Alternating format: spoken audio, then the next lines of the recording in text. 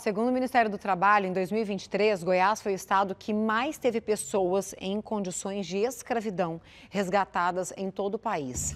É um ranking negativo para a gente ocupar, né, gente? Para falar sobre esse assunto agora, a gente vai conversar com o auditor fiscal do trabalho, Roberto Mendes, que está ao vivo aqui conosco, para contar. Roberto, bom dia, obrigada pela participação aqui.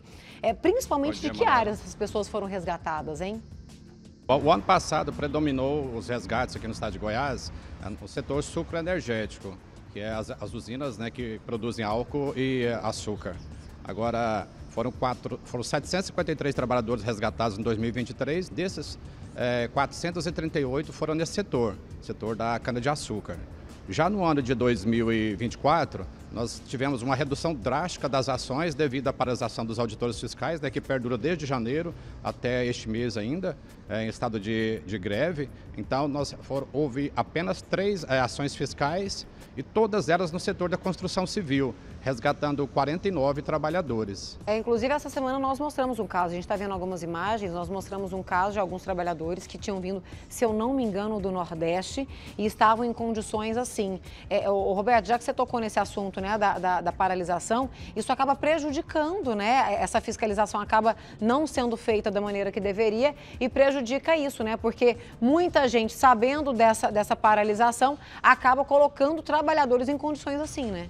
Exatamente. Nós temos mais de mil denúncias acumuladas no Brasil sem atendimento, aqui em Goiás em torno de 100. Meu Deus. E essa paralisação a, a, acabou atrapalhando o atendimento dessas denúncias. Nós estamos retornando agora com essas três ações feitas agora em agosto e a gente espera que solucione, né, um acordo que foi feito que o governo não cumpriu, que está caminhando para a solução e após a solução desse, desse conflito aí com o governo, desse desentendimento com o governo federal em relação ao, ao não cumprimento desse acordo, a gente espera que a gente retome as, as ações fiscais de forma rotineira.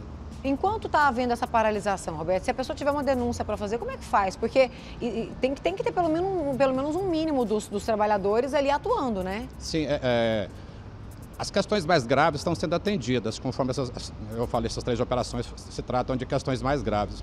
O, as pessoas, o trabalhador, qualquer pessoa que tome ciência de, sua, de uma situação dessa, pode denunciar para o Ministério Público do Trabalho. O Ministério do Trabalho emprega através do sistema IP que é um sistema exclusivo de recebimento de denúncia, digitou no Google, né? Sistema IP, Ministério do Trabalho, aparece o link lá, é só preencher esse, esse link lá, pode preencher de forma anônima, de forma confidencial, ou de forma, ou pode se identificar caso queira. Então há várias formas de fazer essas denúncias. O Sindicato dos Trabalhadores Rurais, a Polícia Federal, a Polícia Militar, a Polícia Civil.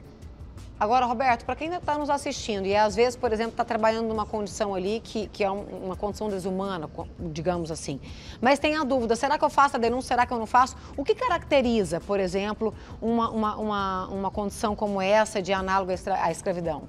Sim, de acordo com o artigo 149 do Código Penal, tem quatro modalidades de submissão de trabalhador condição de escravo. A principal dela, em 99% dos casos, é submeter o trabalhador à condição a, a degradante de trabalho. E o que caracteriza a condição degradante de trabalho? É quando o empregador descumpre a legislação trabalhista a tal ponto que o trabalhador é tratado com total desrespeito, ferindo a sua dignidade. Ele é tratado como se fosse uma coisa, um objeto descartável. Por exemplo, o trabalhador ele é alojado em condições subhumanas, deita, é, dormindo em, em, colchões velhos no chão, ele não recebe um alojamento adequado, não recebe alimentação adequada, no local de trabalho não recebe equipamentos de produção individual, não, é, não há extração sanitária. Então, é, essas infrações, no seu conjunto, quando elas são muito graves, caracteriza a condição degradante de trabalho. E é isso que a gente tem encontrado e tem configurado esse crime.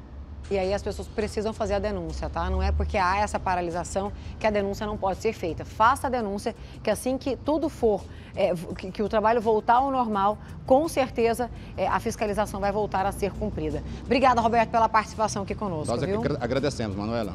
Obrigada.